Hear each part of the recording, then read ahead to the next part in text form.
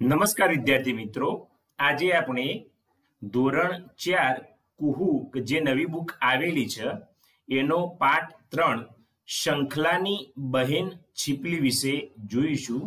વિદ્યાર્થી મિત્રો, આગળના બે પાઠ તમે ન જોયા હોય, તો આ વિડીયોના ડિસ્ક્રિપ્શનમાં એની લિંક મેં આપેલી છે, તો અવશ્ય જોઈ લેજો. ગાયે નાનકડું ગીતડું, પાટીમાં મેં દરિયો દોર્યો, દરિયા વચ્ચે ટાપુ દોર્યો. ટાપુ ઉપર ઝાડ ઊભું છે. ઝાડની ઉપર બંદર દોર્યો. બંદર ડાળી ઉપર કૂદે. ડાળીનો મેં ઝૂલો દોર્યો. ડાળી જાલી પાંદડા તોડે. એ બંદરનો છાયો દોર્યો. ભગીરથ બ્રહ્મભટ્ટ સાહેબે આ લખેલું છે. પછી ઝીણી નજરે જુઓ, શું શું દેખાય છે તેના વિશે વાત કરો અને લખો. તો વિદ્યાર્થી મિત્રો, અહીં તમે એક ચિત્ર આપેલું છે. આ ચિત્રમાં શું શું દેખાઈ રહ્યું છે એ તમારી રીતે, તમારા શબ્દોમાં, તમારી જાતે તમારે વર્ણન કરવાનું છે. અહીં વૃક્ષ છે, તમે જુઓ તો વૃક્ષ ઉપર પંખીઓ બેસેલા છે. પછી આ બે લેડીઝ છે, એટલે કે સ્ત્રીઓ કંઈક વીણી રહી હોય એવું લાગે છે. પછી આ પ્રાણીઓ જેવું લાગે છે. આ બે બાળકો રમી રહ્યા છે, એ બધું છે. મેં મારી રીતે વર્ણન કરેલું છે, જોઈએ. તો એક, આપેલું ચિત્ર એક ઝાડનું છે, તમે જુઓ તો આ એક ઝાડ છે.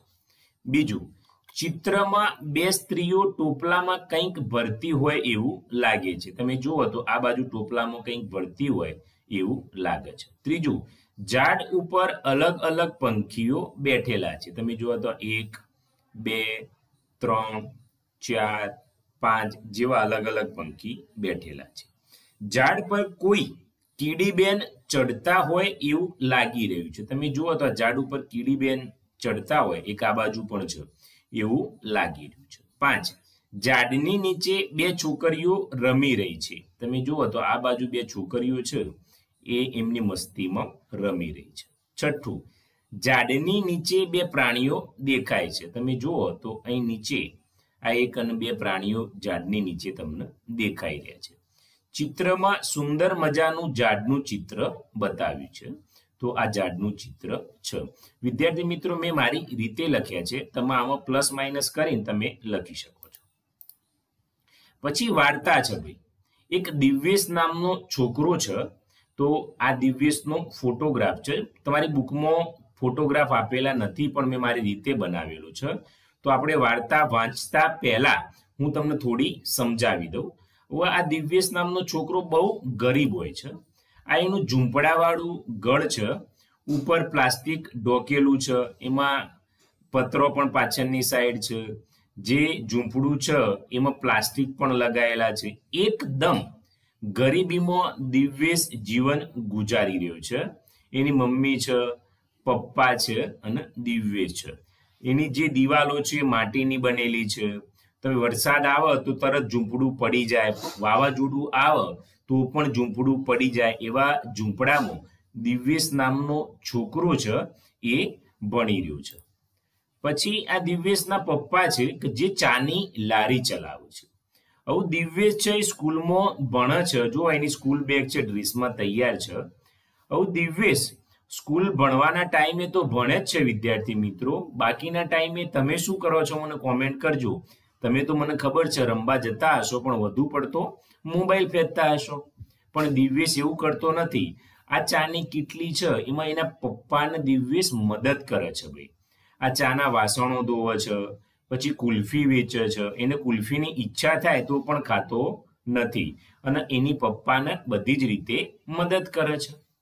હવે દિવ્યેશ શાળામાં ભણો છો, તો બધા જ બાળકો છે, એના મિત્રો છે. આવું દિવ્યેશ હોય છે, એના વેસ્ટમાંથી બેસ્ટ બનાવવું બહુ ગમે છે. એટલે રક્ષાબંધનનો તહેવાર એક દિવસે શાળામાં હોય છે. આપણે જાણીએ છીએ કે રક્ષાબંધનના દિવસે બેન છે એ ભાઈને રાખડી બોધતી હોય છે. તો દિવ્યેશને આ બધું બનાવવું, રાખડી બનાવવી બહુ ગમતી હોય છે. એટલે પોતાના ઘરેથી અવનવી રાખડી, કારેલાનું બીજ છે એવી જે ઉપયોગી ન હોય, એટલે કે નકામી વસ્તુ હોય, એમાંથી દિવ્યેશ રાખડી બનાવે છે અને પોતાના બધા જ મિત્રોને માટે રાખડી શાળામાં લઈ જાય છે અને પછી બધાને આપી દે છે. એટલે બધા શું કરશે? એમની બહેન પાસે રાખડી બંધાવી દેશે પણ દિવ્યેશ બહુ જ એ દિવસે એને લાગી આવે છે. કારણ કે દિવ્યેશની બેન છે, એ બે વર્ષની હતી, એટલે એને બીમારી થઈ હતી અને એ મરી ગઈ હોય છે. એટલે દિવ્યેશને બહુ ખોટું લાગી જાય છે.